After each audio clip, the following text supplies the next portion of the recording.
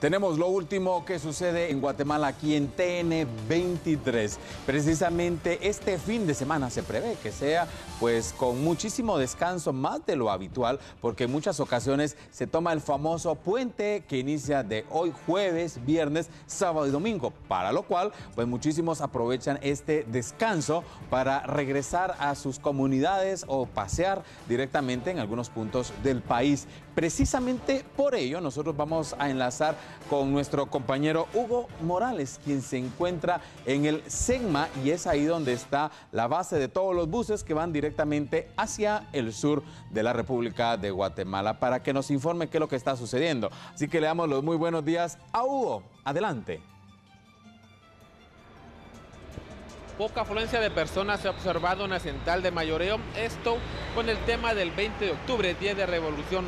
Recordemos que estas fechas pues, son utilizadas por varios guatemaltecos para viajar al interior del país. Sin embargo, hemos logrado observar que en las unidades pocas personas se han logrado observar que están eh, subiendo las unidades correspondientes para poder viajar a algún lugar del interior del país.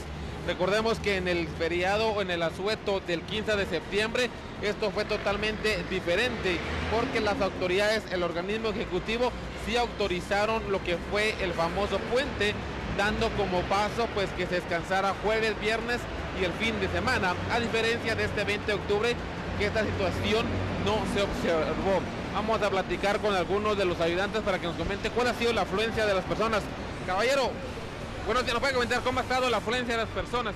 Fíjate que ahorita ha bajado bastante, vamos, pero sí, vamos a ver cómo salimos porque está fregado esto, man. A diferencia del 15 de septiembre que se hizo el famoso puente, es bastante grande la diferencia de gente que viaja. Sí, es bastante, vamos, porque si se hace el puente, caería fin de semana y bajaría más gente, vamos, pero como mañana tienen que trabajar también.